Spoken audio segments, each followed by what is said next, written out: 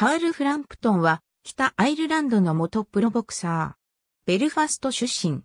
元 WBA スーパー IBF 世界スーパーバンタム級王者。元 WBA 世界フェザー級スーパー王者。元 WBO 世界フェザー級暫定王者。北アイルランドのボクサーで初めての世界2階級制覇王者。アウトボクシングを器用にこなし、右のカウンターフックで倒すこともできる選手。愛称は、ザ・ジャッカルとブリックフィスツ。大きな実績はないが、アマチュア時代の戦績は100勝以上して8敗。2009年6月12日、リバプールのリバプールオリンピアでデビュー戦を行い、初回にダウンを奪うと2回にも2度ダウンを奪って、レフェリーストップがかかり試合終了。2回2分3秒 TKO 勝ちで、デビュー戦を白星で飾った。2010年12月3日、ベルファストのアルスターホールで、ケビン・レードとブベブック・ケルトスーパーバンタム級王座、決定戦を行い、2回2分29秒、TKO 勝ちを収め王座獲得に成功した。2011年6月4日、ウェールズ・カーディフのモーターポイントアリーナ・カーディフで、ロビー・ターキーと対戦し、10回3から0の判定勝ちを収め、ブベブックケルト王座の初防衛に成功した。2011年9月10日、ベルファストのオデッセイアリーナで、コモンウェルスイギリス連邦スーパーバンタム級王座、決定戦をマーク・クオンと対戦し4回にダウンを奪うと最後は、レフェリーストップを呼び込み試合終了。4回1分11秒 TKO 勝ちを収め、王座獲得に成功した。2012年1月28日、ロンドンのヨークホールでクリス・ヒューズと対戦し、7回にダウンを奪うとそのまま、レフェリーストップがかかり試合終了。7回48秒 TKO 勝ちを収め、コモンウェルス王座の初防衛に成功した。2012年3月17日、シェフィールドのモーターポイントアリーナシェフィールドで、プロスパー、アンクラーと対戦し2回2分45秒小勝ちを収めコモンウェルス王座の2度目の防衛に成功した。2012年5月26日、ノッティンガムのノッティンガムアリーナで IBF 世界スーパーバンタム級10位のラウル・ヒラレスと IBF インターコンチネンタルスーパーバンタム級王座決定戦を行い、12回3から0の判定勝ちを収め王座獲得に成功した。2012年9月22日、ベルファストのオデッセイアリーナで、元 IBF 世界、スーパーバンタム級王者で、IBF 世界、スーパーバンタム級11位のスティーブ・モリターと対戦。モリターがスリップダウンを6度もするハプニングこそあったが3回、4回、6回にそれぞれ1度ずつ計3度のダウンを奪うと、レフェリーストップがかかり試合終了。6回2分21秒 TKO 勝ちを収め、IBF インターコンチネンタル王座の初防衛、コモンウェルス王座の3度目の防衛に成功した。2013年2月9日、ベルファストで、後の IBF 世界、スーパーバンタム級王者のキコ・マルチネスと対戦。強打者マルチネスと激しい打ち合いになり、序盤は互角の展開になったが、3回になると、ペースを少しずつ握り出し9回右のカウンターフックが、マルチネスに炸裂し、ダウンを奪った。マルチネスは起き上がり続行の意思を示すもレイ・フェディがふらつく。マルチネスを見て続行すると危険と確認し、ストップがかかり試合終了。9回2分46秒 TKO 勝ちで IBF インターコンチネンタル王座の2度目の防衛に成功、エブ王座の獲得にも成功し、フランプトンは IBF 世界スーパーバンタム級12位から4位に大躍進。一方マルチネスは8位から15位に落とした。観戦に訪れていた WBA 世界スーパーバンタム級王者スコット・クイックとの対戦を期待するファンが多かった。2013年10月19日、ベルファストでジェレミー・パロディと対戦し、6回右ボディショットを放つと、パロディは悶絶しそのままカウントアウトで試合終了。6回2分59秒小勝ちを収め IBF インターコンチネンタル王座の3度目、エブ王座の初防衛に成功した。2014年4月4日、ベルファストのオデッセイアリーナで元世界2階級制覇王者、ウーゴ・カサレスと WBC 世界、スーパーバンタム級決定戦を行い、2回1分38秒小勝ちを収めレオサンタクルスへの挑戦権を獲得した。2014年9月6日、ベルファストのタイタニッククォーターで IBF 世界スーパーバンタム級王者のキコマルチネスと再戦し、12回3から0の判定勝ちを収め王座獲得に成功した。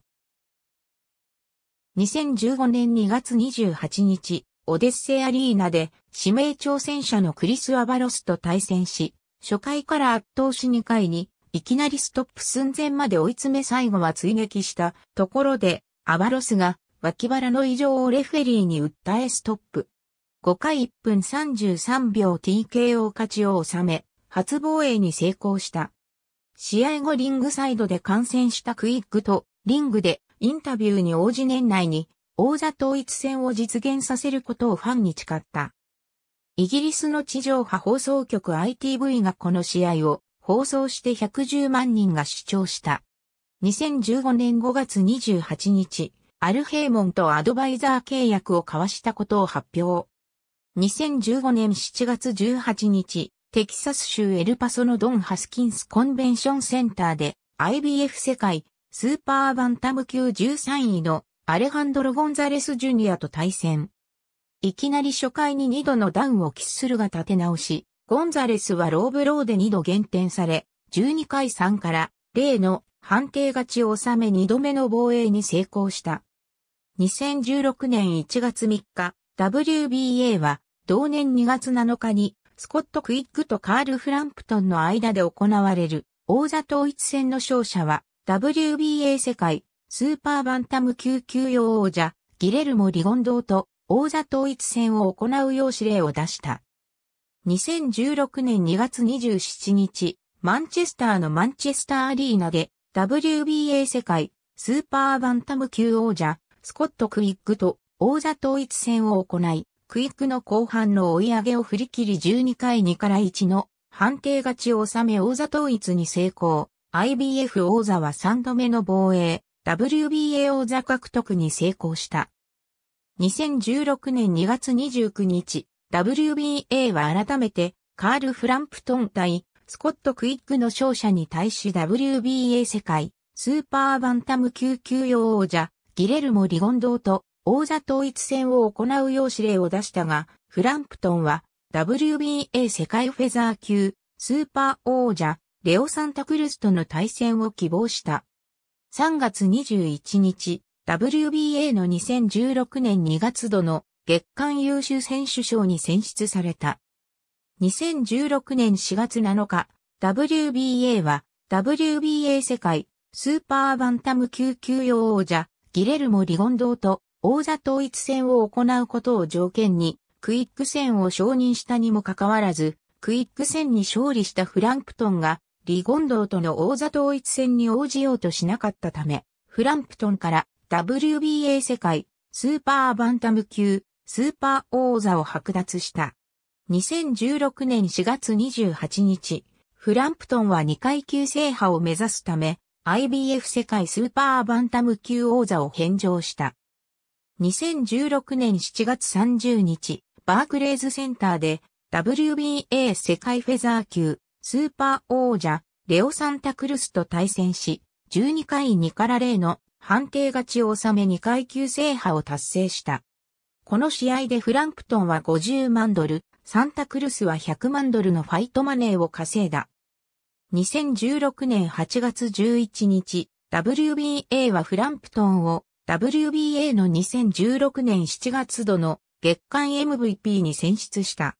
2016年12月30日、PBC がフランプトンを2016年の PBC ファイターオブザイヤーに選出した。2017年1月17日、リングマガジンはフランプトンを2016年度のリングマガジンファイターオブザイヤーに選出した。2017年1月28日、MGM グランドガーデンアリーナで元 WBA 世界フェザー級スーパー王者で WBA 世界フェザー級2位のレオ・サンタクルスと再戦し、プロ初黒星となる12回0から2の判定負けを喫し初防衛に失敗、王座から陥落した。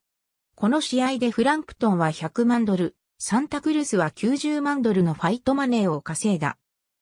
2017年7月28日、翌29日にベルファストの SSE アリーナで。WBC 世界フェザー級8位のアンドレス・グティエレスと WBC 世界フェザー級挑戦者決定戦を行う。予定だったが、前日計量でフランプトンがフェザー級の規定体重である126ポンドを1ポンド超過の127ポンドを計測し計量失格。さらにグティエレスがホテルでシャワーを浴びようとして転倒し歯を数本折り鼻や顎を深くカットしたため試合は中止となった。2017年9月24日、バリー・マクギガンのサイクロンプロモーションズを離脱して、フランク・ウォーレンのクイーンズベリー・プロモーションズと契約。また、トレーナーも、バリー・マクギガンの息子のシェーン・マクギガンから、ジェイミー・ムーアに変更した。2017年11月18日、ベルファストの SSE アリーナで、オラシオ・ガルシアとフェザー級10回戦を行い、7回にダウンを奪われるが10回3から0の判定勝ちを収め再起した。2017年11月26日、バリー・マクギガンがサイクロンプロモーションズを離脱したのは契約違反であるとしてフランプトンに対して訴訟を起こした。2018年4月21日、ベルファストの SSE アリーナで元5階級制覇王者で WBO 世界フェザー級8位のノニト・ドネアと WBO 世界フェザー級暫定王座決定戦を行い、12回3から0の判定勝ちを収め、WBA に続く王座獲得に成功した。2018年12月22日、マンチェスターアリーナで IBF 世界フェザー級王者のジョシュ・ワーリントンと対戦し、12回0から3の判定負けを喫し王座獲得に失敗した。2019年3月17日、ボブ・アラムのトップランク社と契約を結んだ。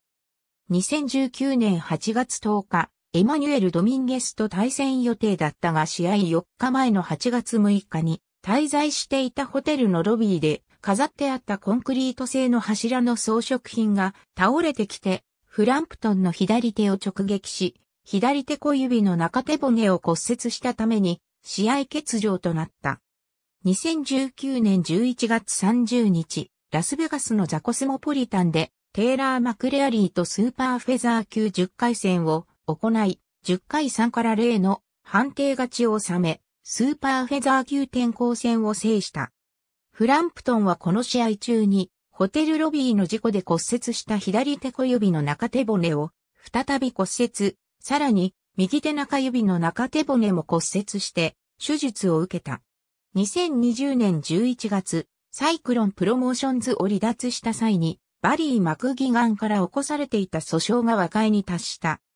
2021年4月3日、ドバイにて WBO 世界スーパーフェザー級王者ジャメル・ヘリングと対戦。5回に一度、6回にも一度ダウンを奪われ、立ち上がるもヘリングがパンチをまとめるとフランプトンのコーナーがタオルが投入して TKO 負け。試合後にリング上のインタビューでフランプトンは引退を表明した。ありがとうございます。